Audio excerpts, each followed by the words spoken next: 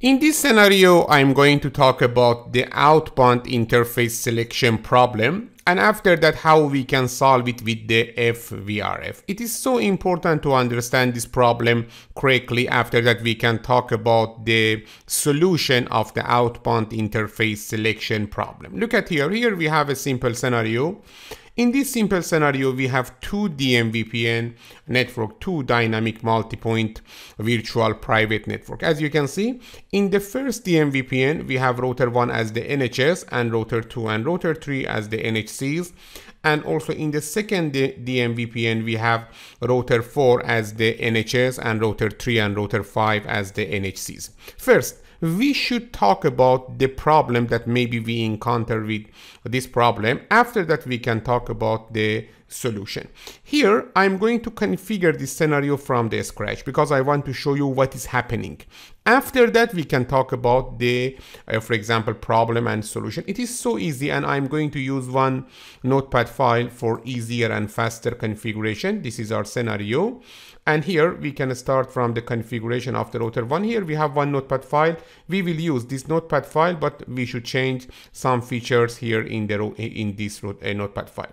In the router one, as you can see, okay, this is router one enable conft configure terminal interface fast ethernet 00 then ip address is 10161 okay? 255.255.255.0 because this link between is between the router 1 and router 6 uh, the ip address of this interface is 10161 255.255.255.0 then no shutdown also here we have one interface loopback. Let me use interface loopback 0 with the ip address of quad 1 quad 255 so easy. Okay.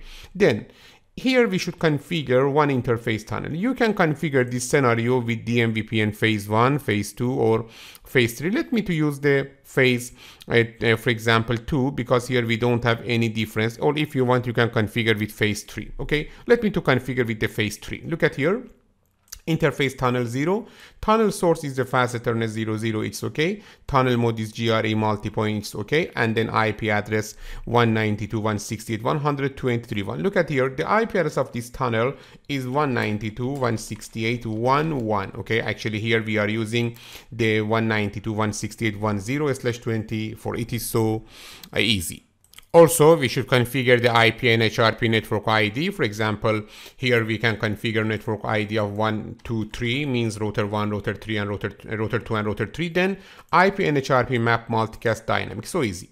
Then and here we should configure one routing protocol. For example, you can use EIGRP, router EIGRP NRC, address family IPv4 unicast autonomous system 1, then network 172.16.1.1. Look at here, we should configure here network quad 1 quad 0 then 192 168 okay 1 1 quad 0 so easy. Then here you know that because we want to use uh, the um, phase 2 or phase 3 okay we should configure no split horizon and also no next hop self. Let me to configure no next hop self. You have learned about all of these commands.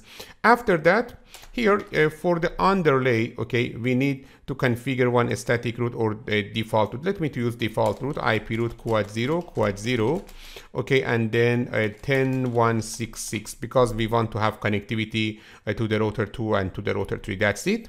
And here this is the configuration of the router 1 let me to configure the router 2 in the router 2 enable conft interface fast ethernet 00 the ip address of this interface is 10262 why? Because here we have a, a link between the router 2 and router 6 10262.255.255.255.0 so easy. After that let me uh, to configure the loopback 0 the loopback 0's ip address is quad 2 quad 255 okay and then we have uh, for example interface tunnel 0 here. We should configure GRE tunnel or multi-point GRE tunnel. Tunnel source is fast ethernet 00 and tunnel mode is the GRE multi-point. So easy. Then IP address of this interface is 192.168.122.55255.2550 IP NHRP network ID is 123 and also IP NHRP NHS 192 168 123 1 the IP address of NHS is 192 168 okay 11 here you know that we should configure IP NHRP uh, for example map then 192 168 11 map to the 10 uh, 161 and also we want to enable multicast IP NHRP uh, for example multicast. Okay ip nhrp map multicast. Then we should map to the 10161 okay? You know that we should configure these three commands. If you want you can configure only one command. This is easier. Ip nhrp okay? Here nhs then 192 168.11 nbma is 10161 and please enable multicast for uh, this okay? It is easier. Because that let me to use only one command okay? Instead of these three command we can use ip nhrp nhs 192.168.11 nbma address is 10161 and also we have multicast for this destination. That's it also, router EIGRP NRC address family IPv4 unicast autonomous system 1, network quad 2 quad 0, and then network 192.168.1.2 quad 0. Here, let me to configure only one default route, IP route, okay, quad 0, then quad 0, and after that, next hop is 10.2.6.2. Also, because we want to use the phase 3, we should use on the hub router this command IP NHRP, okay, IP NHRP redirect. This is phase three. And after that, on the router two, we should configure IP NHRP shortcut okay ip NHRP shortcut so easy. Then let me to configure the router 3 in the router 3 if you know that this is member of 2 vpn 2 dmvpn but let me to uh, configure only the dmvpn one now.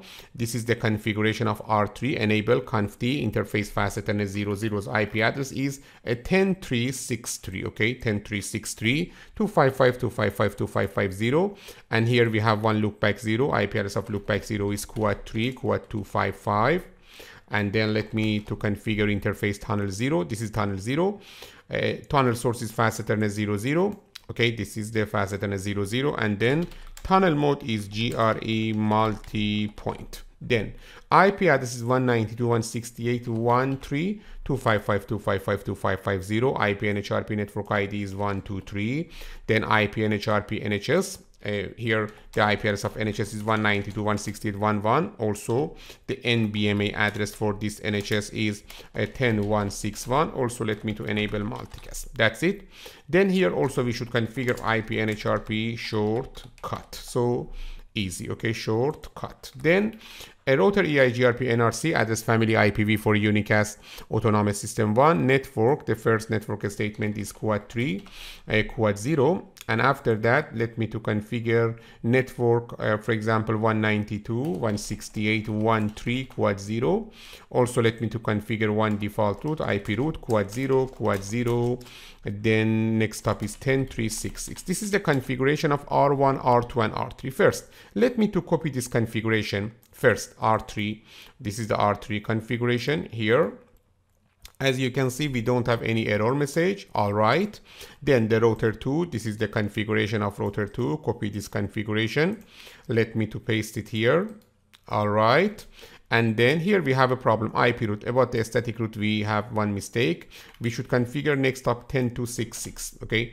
Let me to copy it here in the router 2 okay this is the router 2 and then the router 1 configuration this is the r1 configuration. Also uh, here we should configure the uh, router 6 this is the r1 configuration. Let me to uh, show you the configuration of router 6 it is important for us for the DM, for this dmvpn okay r6 here we have R6. Let me to uh, change the configuration of R6.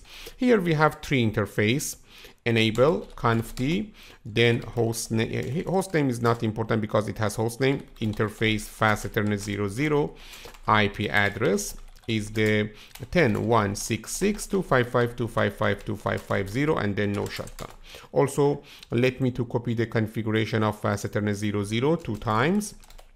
This is the uh, configuration of fast ethernet 01 Okay, about the fast Ethernet 01, this interface, the IP address is 10266, and also we have interface fast Ethernet 10, the IP address is 10366.255.255.255.0. Let me to copy uh, the configuration of the router 6. Okay, now we expect to see, okay, the first DMVPN is working correctly. Let me to show you. Uh, in the R1, okay, in the R1, as you can see,